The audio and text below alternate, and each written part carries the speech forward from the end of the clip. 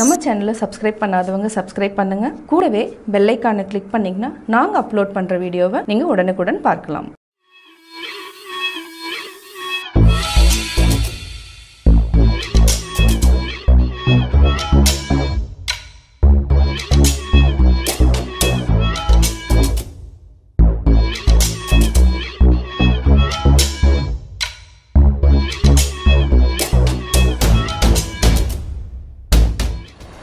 அனைவருக்கும் தீபாவளி நல்வாழ்த்துக்கள்.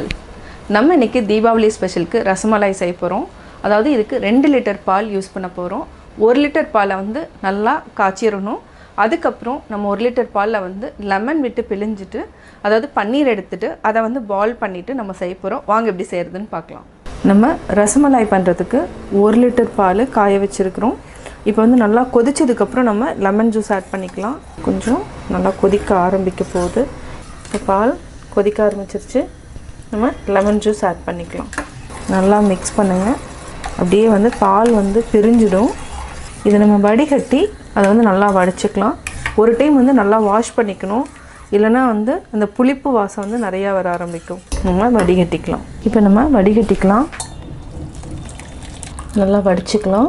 இதை வடிச்சிட்டு நம்ம ஒரு டைம் வந்து நல்லா அலசிக்கலாம். இப்போது கொஞ்சமாக அப்படியே வந்து தண்ணி விட்டுட்டு அந்த புளிப்புத்தன்மை வந்து போயிடும். அதாவது லெமனோட ஸ்மெல் இருக்காது. அதுக்காக இந்த மாதிரி பச்சை தண்ணியில் வாஷ் பண்ணிக்கணும்.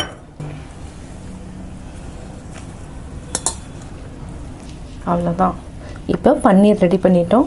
இப்போ பன்னீர் கிடச்சிருக்கு. இதை வந்து நல்லா பிசைஞ்சுக்கணும். கொஞ்சம் சூடாக இருக்குது ஆறட்டும். இதுக்கடையில் நம்ம ஒரு லிட்டர் பாலை நான் ஒரு டுவெண்ட்டி மினிட்ஸ் கிட்ட கொதிக்க வச்சு அதாவது ராப்டி மாதிரி பண்ணணும். அதாவது வெறும் பாலாட நல்லா திக்காக வர அளவுக்கு நம்ம நல்லா கொதிக்க வச்சுக்கலாம். இப்போ பார்த்திங்கன்னா இந்த மாதிரி மஞ்சள் ஏடு ஏடாக வரணும். அப்போ தான் வந்து அந்த ரசமலாயினோட டேஸ்ட் வந்து நல்லாயிருக்கும். இப்போ பார்த்திங்கன்னா பாலே பார்த்திங்கன்னா நல்லா திக்காயிடுச்சு. இன்னும் கொஞ்ச நேரம் கொதிக்க வச்சிடலாம் அதாவது சிம்மில் வச்சுட்டு கொதிக்க வச்சுருங்க. இது வந்து ஒரு சைடில் நல்லா கொதிக்கட்டும். நெக்ஸ்ட் ப்ராசஸ் வந்து நம்ம இப்போ நல்லா மசிச்சு விட்டுக்கணும் ஃபஸ்ட்டு ஏன்னா திரி திரியாக தான் இருக்கும். நம்ம நல்லா பிசையிறப்ப தான் வந்து அந்த சாஃப்ட் வந்து கிடைக்கும். இந்த மாதிரி கொஞ்சம் கொஞ்சமாக வந்து நல்லா மசிச்சு விடுங்க. அதுக்கப்புறம் தான் நம்ம பால் பண்ண முடியும். அதாவது சப்பாத்தி மாவு மாதிரி பிசையணும் இதைய அழுத்தி பிசையணும். இது மினிமம் ஒரு செவன் மினிட்ஸ் கிட்ட நம்ம நல்லா மசிச்சுக்கணும். அப்போ தான் சப்பாத்தி மாவு பதத்துக்கு வரும். இது மாதிரி கையில் இப்படி செஞ்சு நல்லா பிசைஞ்சுக்கோங்க. இப்போ வந்து கரெக்டாக வந்திருக்கு. இப்போ நம்ம சின்ன சின்ன உருண்டைகளாக பிடிச்சிட்டு ஒரே ஒரு ப்ரெஸ் பண்ணிட்டோன்னா அதாவது ரசமலாய் மாதிரி இருக்கும்.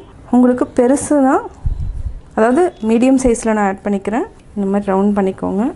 இதே மாதிரி எல்லாத்தையுமே பால் மாதிரி அதை உருண்டை பிடிச்சிக்கலாம். அதுக்கப்புறம் ஷேப் பண்ணிக்கலாம். நம்ம இந்த சைஸில் பிடிச்சிக்கலாம். இப்போது லைட்டாக ப்ரெஸ் பண்ணிக்கலாம். இதை ஓரத்தில் அப்படியே லைட்டாக இதே மாதிரியே நம்ம எல்லாத்தையுமே பிடிச்சி வச்சுக்கலாம். ஒரு பேனில் சர்க்கரை போட்டுக்கலாம். இதுக்கு ஒரு டம்ளர் தண்ணி ஆட் பண்ணிக்கலாம். இது நல்லா கரையிட்டும். அதுக்கப்புறம் நம்ம ஆல்ரெடி வந்து பால் பண்ணிவிட்டு அதாவது ரவுண்ட் ஷேப்பில் வச்சுருக்குறோம். அது கூட வேக வச்சுக்கலாம். அதாவது சுகர் வாட்டர் கூட வேக வைக்கலாம். இப்போ நம்ம வேக வச்சிடலாம். இது வந்து ஒரு டென் மினிட்ஸ் வந்து நல்லா கொதிக்கணும். லைட்டாக அப்படியே திருப்பி போட்டுக்கலாம். இன்னும் ஆல்ரெடி கொதிக்க வச்சுருக்குறோம். இன்னும் கொஞ்சம் நேரம் கொதிக்கணும். இது வந்து இன்னும் ஒரு ஃபிஃப்டீன் மினிட்ஸ் வந்து நல்லா கொதிக்கணும். இன்னுமே பார்த்திங்கன்னா பாலாடை வந்து நிறையா வரணும். இப்போ பார்த்திங்கன்னா இவ்வளோ பாலாடை இருக்குது இன்னும் நல்லா கொதிச்சதுன்னா பாலாடை வந்து நிறையா கிடைக்கும் நம்மளுக்கு கொஞ்சமாக நம்ம ஏலக்காய் தூள் ஆட் பண்ணிக்கலாம். இது வந்து ஒரு ஆறு ஏலக்காய் வரும். கூடவே நம்ம சர்க்கரை. ஒரே ஒரு கப் ஆட் பண்ணாலே போதும். ஸ்வீட் வந்து கரெக்டாக இருக்கும். இது நல்லா மிக்ஸ் பண்ணிக்கோங்க. அதுக்கப்புறம் நம்ம சஃப்ரான் மில்க் ஆட் பண்ணிக்கலாம். இது ஆல்மோஸ்ட் பார்த்திங்கன்னா ஒரு லிட்டர் பாலை வந்து நம்ம சுண்ட வச்சு இப்போ ஒரு ஃபோர் ஹண்ட்ரட் எம்எல் வந்திருக்கு. இன்னும் ஒரு ஹண்ட்ரட் எம்எல் அளவுக்கு நம்ம இன்னுமே குறைச்சிக்கலாம். அதாவது இன்னும் கொஞ்சம் நல்லா கொதிச்சதுன்னா இன்னுமே நல்லா சுண்டிடும். ரசமலாயினோட டேஸ்ட் வந்து நல்லாயிருக்கும். இது ஒரு ஃபிஃப்டீன் மினிட்ஸ் நல்லா கொதிக்கட்டும். சுகர் வாட்டரில் நம்ம வந்து ஆல்ரெடி பன்னீர் பாலை வந்து ஆட் பண்ணியிருக்கோம். இப்போ பார்த்திங்கன்னா எல்லாமே டபுள் சைஸ் வந்திருக்கு. நம்ம சின்னதாக தான் போட்டோம். இவ்வளோ பெருசு வந்திருக்கு. இது ஒரு நம்ம ஃபைவ் மினிட்ஸ்க்கு நல்லா கொதிக்க வச்சுருக்கோம். இதை வந்து தனியாக எடுத்து வச்சுக்கலாம். ஆல்ரெடி வந்து ராப்டி வந்து ரெடி ஆகிட்டுருக்கு இப்போ நம்ம இதையே ஒன்று ஒன்றா எடுத்து வச்சிடலாம். சர்க்கரையை வடிச்சிட்டு கூட எடுத்து வைக்கலாம். இப்போ நம்ம சுகர் சிரப்லேருந்து தனியாக எடுத்து வச்சுக்கலாம். இப்போ பால் நல்லா கொதிச்சிட்ருக்கு இது கூட நம்ம ஏலக்காயும் சுகரும் ஆட் பண்ணியிருக்கிறோம். அடுத்து நம்ம சஃப்ரான் மில்க் ஆட் பண்ணிக்கலாம். இந்த மாதிரி பால் ஆடை வந்து இந்த மாதிரி வரணும். ஆல்மோஸ்ட்டு ஒரு டென் மினிட்ஸுக்கு மேலே நல்லா கொதிச்சு ஆடை நிறைய சேர்ந்துருச்சு. இப்போ பாருங்கள் நல்லா தெரியும். இவ்வளோ ஆடாக இருக்கணும் இதுக்கு வந்து நம்ம சஃப்ரான் மில்க் ஆட் பண்ணிக்கலாம்.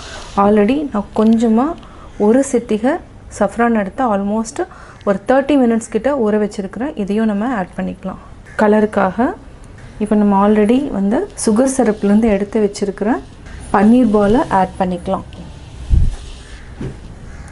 தனியாக ஒரு பவுலுக்கு மாற்றிக்கலாம் இதை வந்து நல்லா ஆற வச்சுட்டு ஃப்ரிட்ஜில் எடுத்து வச்சுக்கோங்க. இது வந்து என்னென்னா நல்லா சில்லுன்னு சாப்பிட்டா தான் ரொம்ப நல்லாயிருக்கும். இப்போ ஆற வச்சுக்கலாம் ஃபஸ்ட்டு சுவையான ரசமலாய் ரெடி நான் ரசமலாய் எப்படி செஞ்சேங்கிறத பார்த்தீங்க. கட்டாயம் உங்களுக்கு இந்த வீடியோ பிடிச்சிருக்கும்.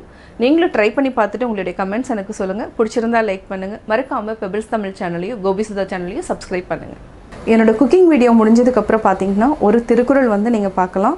உங்கள் குழந்தைகளுக்கு நீங்கள் சொல்லித்தரலாம். பெருமவற்றுள் யாமறிவது இல்லை அறிவறிந்த மக்கட்பேறு அல்ல பிற. ஒருவனுக்கு எவ்வளவோ செல்வங்கள் இருக்கலாம்.